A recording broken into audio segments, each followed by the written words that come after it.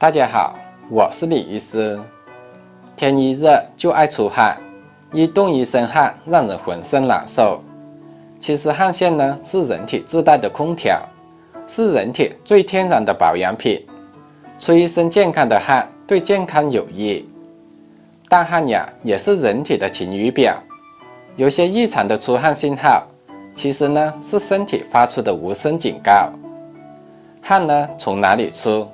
病就从哪里来？那怎样才算异常的出汗呢？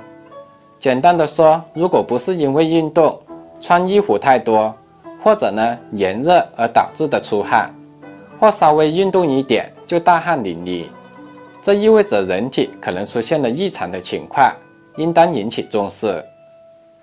第一，头部出汗异常，胃火旺。头部的阳气本应该是最足的。头上若是经常出汗，或许就意味着您的阳气有些虚弱，这往往和胃火旺有一定的关系。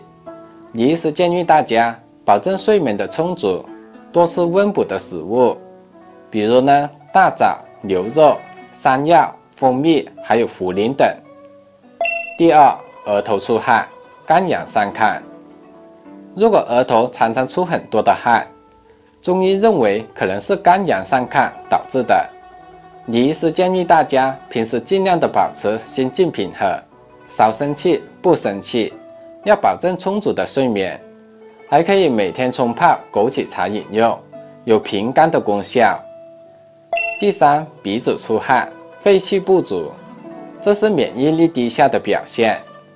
李医师建议大家每天可以用双手敲打双腿。并按压双腿的左右两侧，通过敲打刺激，起到调理肺经的作用。第四，腋下出汗，多是汗腺过大或者饮食过重。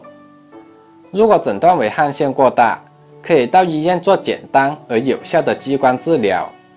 胃重的话呢，李医师建议大家饮食要清淡，多吃点水果蔬菜。第五，胸口出汗，多是脾胃失和。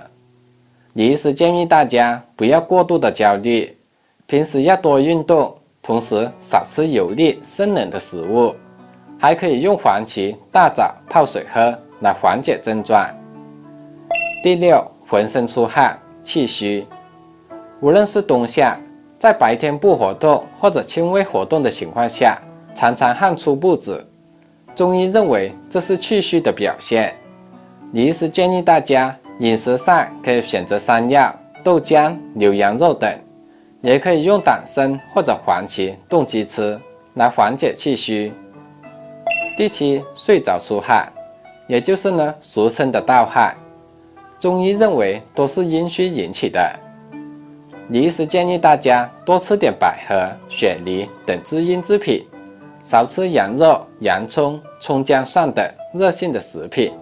也可以用沙参、麦冬、五味子或者西洋参泡水饮用。第八，偏汗，这种多见于呢风湿偏瘫的病人。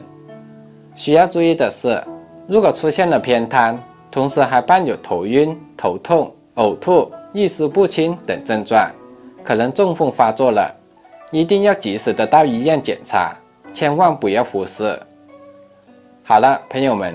看完今天的内容，请帮李医师点赞分享，感谢您的支持。